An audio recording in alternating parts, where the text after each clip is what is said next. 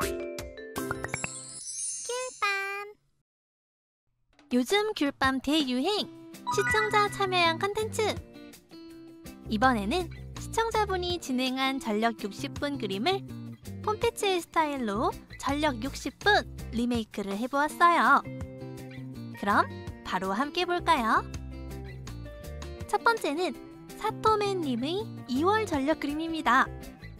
귤밤 2월 전력의 주제는 바로 새학기였는데요. 캐릭터의 성격이 잘 드러나는 것뿐만 아니라 소품, 포즈, 구도 등이 잘 어우러진 예쁜 그림이에요. 리메이크는 원작이 가지고 있는 고유의 특징을 유지하면서 자기 그림체로 그려주는 것이 묘미. 모작이 아니기 때문에 완전히 똑같이 그릴 필요는 없다는 것 알고 계시죠? 사토맨님 그림이 갖고 있는 기본적인 특징을 벗어나지 않는 선에서 캐릭터를 그려주었습니다. 제한 시간이 있는 그림은 시간 안에 목표한 만큼 완성하는 것이 중요해요. 자신의 목표에 따라 템포나 작업 방식을 다르게 해주면 되는데 저는 채색까지 진행하는 것이 목표였기 때문에 선화를 빠르게 마무리할 수 있도록 했어요. 섬세한 묘사로 바로 들어가기보다는 큰 브러쉬를 통한 묘사 이후 남은 시간을 파악하며 세부 묘사를 진행했답니다. 이렇게 해서 채색을 모두 진행한 후 보정까지 하면 완성! 삐쭈?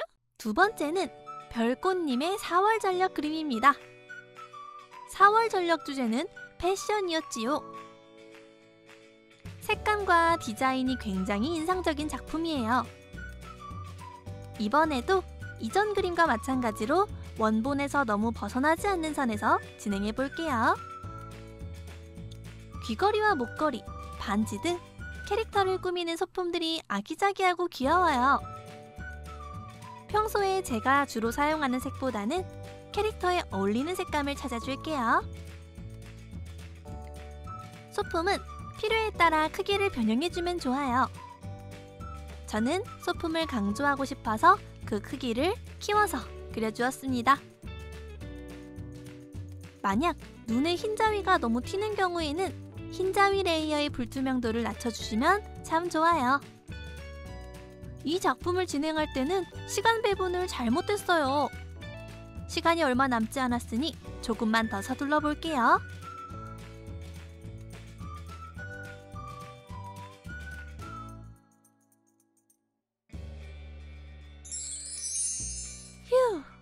겨우겨우 시간 안에 완성할 수 있었네요.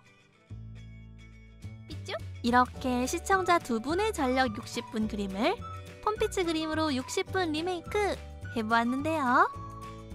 시청자분들의 예쁜 그림을 심도 깊게 살펴보고 또 리메이크 할 수 있어서 무척 즐거운 시간이었어요. 다음엔 여러분도 귤밤 전력 혹은 리메이크 컨텐츠에 한번 참여해보세요.